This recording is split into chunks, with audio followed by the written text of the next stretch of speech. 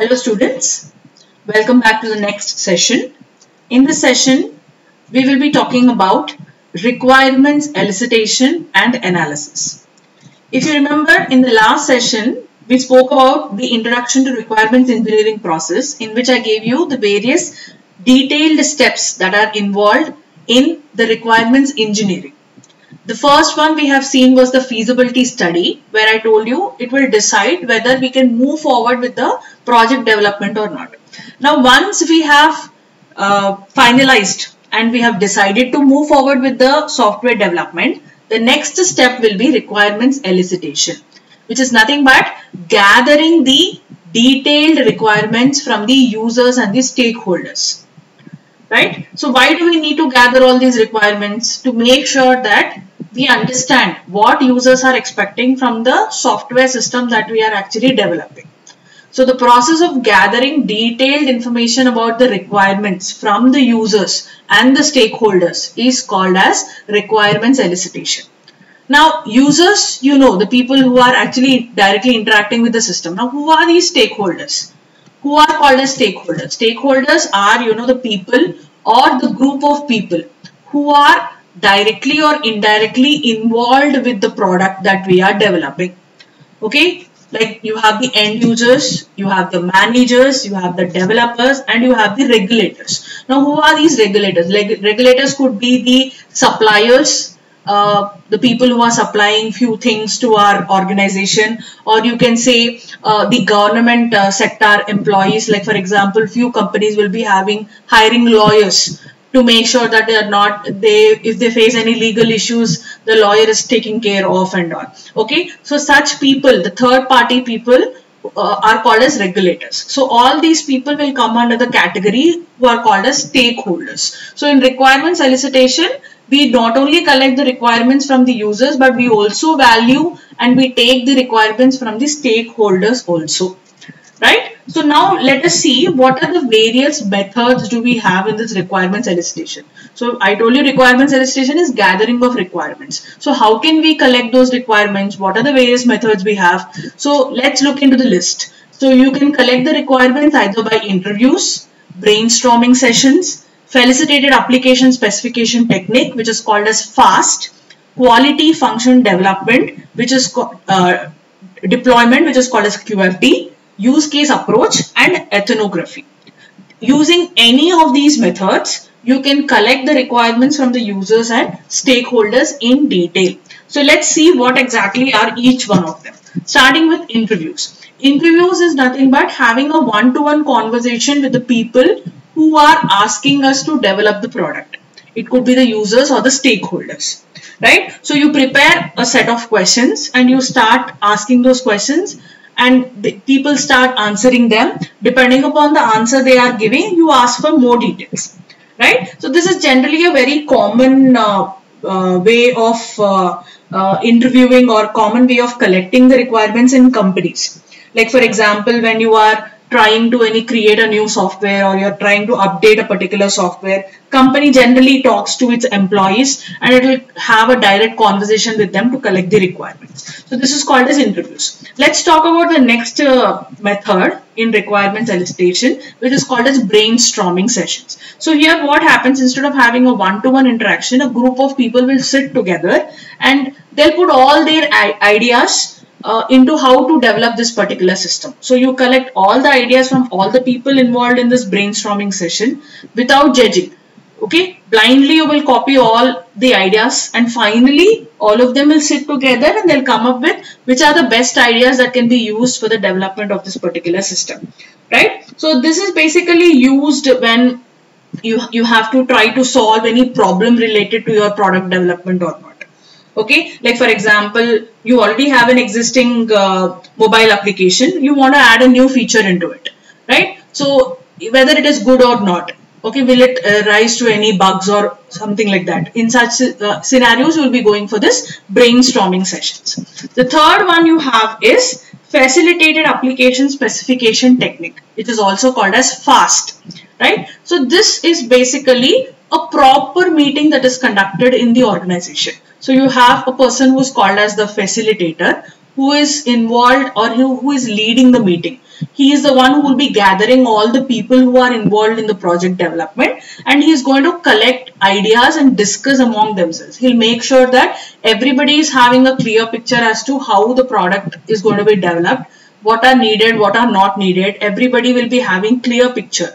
He is the one who's going to make sure that everything is understood by everyone okay? Like uh, for example uh, say suppose you have a hospital management application that you want to develop which is used by all the people inside the hospital like the doctors the uh, nurses the IT staff the compounders everybody is going to use. So since you are developing a common application you make sure that people are sitting together and everybody is understanding what is the purpose of this particular product. Uh, you're taking inputs from them okay? Based on that you are collecting the requirements. Such procedure is called as facilitated application specification technique. The next one you have is quality function development. Uh, sorry deployment which is called as QFD this is a method which is used to collect the requirements from the customer and directly convert those requirements to the system and the technical requirements system requirements and technical requirements. Like uh, uh, for uh, and this particular method is basically used while you are uh, trying to develop any electronic goods or you know or any manufacturing goods like cars mobiles and all. In very rare cases it is used in softwares also. Okay? So this is called as quality function uh, de deployment where you are converting the requirements that you are collected from the user directly into the system features and technical requirements. The next one you have is use case approach. So use case approach is basically used to understand how the system is going to exactly work when I develop it. So you talk about a scenario and you assume that if a customer is interact, interacting with my system in that particular scenario, how is the step-by-step -step procedure going? How is my system reacting with the customer? Okay, you write down all these step-by-step -step procedures. This is called as use case approach, right? So generally this is used uh, if you want to know how people are interacting with the system or if you want to know how my system will be reacting to the user needs and all. In such cases, you will be uh, using this approach which is called as the use case approach. The next one you have is ethnography. See, not many times or in many scenarios, customers will be able to explain us the problem of their existing system. Okay, why they do, why do they actually need uh, a new software for their environment? In such scenarios, we'll be going with a method which is called as ethnography, where we will go to their workplace of the customer and we will actually look or watch what is actually the problem the users are facing why they are asking us for this particular system.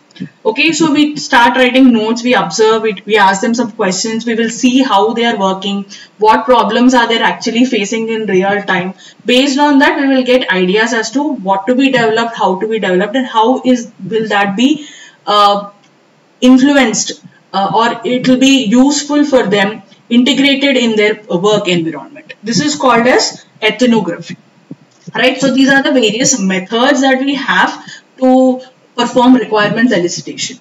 And we can use any of the method depending upon the project that we are developing or the company also right? So once these requirements are successfully collected using requirements elicitation we will perform the next level which is called as the requirements analysis. Requirements analysis is basically making sure that whatever requirements i have collected are clear, complete, feasible and they are not having any conflicts.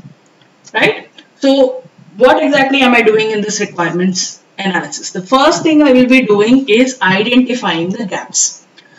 So once I finish collecting all the requirements from the customer, I will go through everything one after the other. I'll check if, if I'm missing any flow. That is called as identifying the gaps. If I'm missing any flow, I'll make sure to sit again with the customer and stakeholder and fill that particular gap. Okay, the second one is resolving conflicts. So you'll be having n number of conflicts. Uh, it could be technical conflict, legal conflict, uh, it could be budget conflict, any n number of conflicts will be there. Like for example, when you are involving group of people while collecting the requirements. One group of people want a very high standard user interface and the developer development team will think that no let's put it simple we don't want high standard user interface. So there's a conflict that is happening. So how to resolve these conflicts? That is done inside this requirements analysis phase. The next one you have is prioritizing requirements. So after you finish identifying the gaps, you know, resolving conflicts and all, the next thing you have to do is to give a priority or a ranking system to the requirements. In that ranking order, only the requirements will be successfully uh, developed one after the other okay? So these are the main key tasks that are done in your requirement analysis. Now by doing all these tasks what is happening?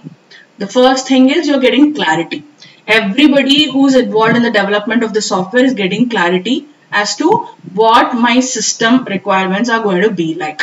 The second one is completeness right? You're not leaving anything. You are having a very clear picture as to what are the requirements what are needed and how to develop the particular software. Conflict resolution. So priorly only you are sitting, you're making sure that you're not having any sort of conflicts which is going to help you in future with the product development. Okay, so these are the different things why your uh, requirement analysis is important to us. Right, we will continue in the next session. Thank you.